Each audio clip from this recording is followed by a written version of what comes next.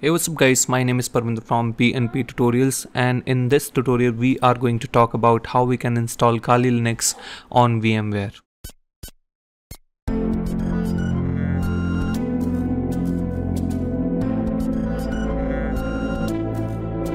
Let's head over to the Kali Linux website and as you can see over here we are on the Kali Linux website and now we will click on download.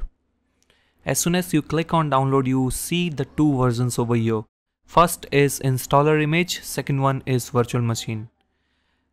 Since we are installing this Kali Linux on the VMware player, so we'll click on the virtual machines and my system is 64-bit, so I will choose this version. This is the correct package for the VMware, so I'll click on that link.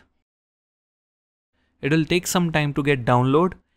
As you can see, our Kali Linux has been downloaded and that is downloaded into the .7zip format. So first we will have to extract it with the WinRAR and I've extracted it over here.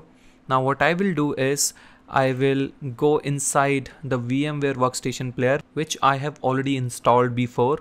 You can find it anywhere on the Google. Now we will click on the player and then we will go to the file and click on open.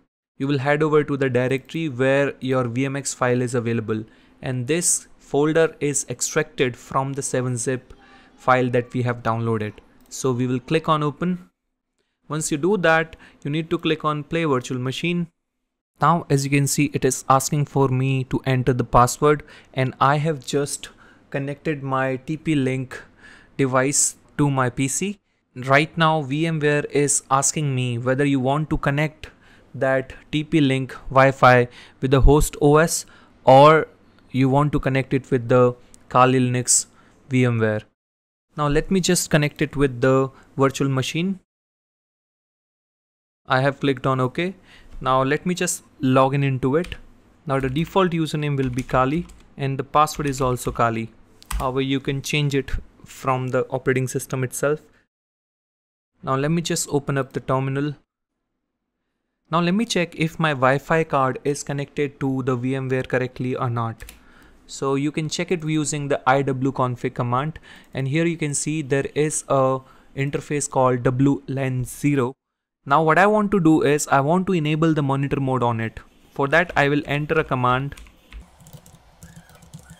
We are using airmon ng start wlan0 and here it is asking me to run this as a root. So I will do it with the sudo. Password you need to enter and here you can also check my chipset version of the Wi-Fi card is AR9271. Now let me see if the monitor mode is enabled or not that you can check with iwconfig command. Here you can see the monitor mode is enabled on WLAN0 mon. Now let me see if I am able to see the routers around me or not. Again we will have to run it as a root and here you can see guys you are able to see all the routers around you. So this was a quick installation video of Kali Linux. I will encourage you guys to use the VMware version which you don't have to install into your VMware player. You will just open it up and it will be ready to go. So thanks for watching this video guys. If you guys like this video then give it a big thumbs up. If you are new to this channel then please please subscribe this channel. We have started the Wi-Fi hacking course recently. If you want to check out some other videos, then you can check that. And please, please, please like the video.